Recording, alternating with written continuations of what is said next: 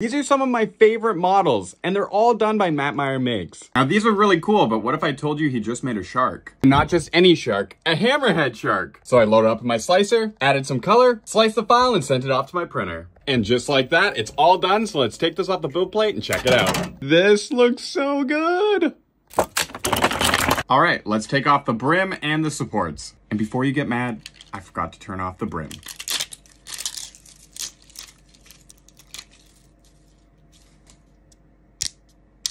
That doesn't look that good. We can fix it, I hope. Ugh. Come on. And just like that, it's all done. I think this turned out absolutely amazing. Let me know what you guys think in the comments below. I was gonna ask you what I should name it, but I think his name should be Bruce. Yeah, his name's Bruce. And as always, if you like cool projects like this, definitely make sure you're following because you won't want to miss what's printing next.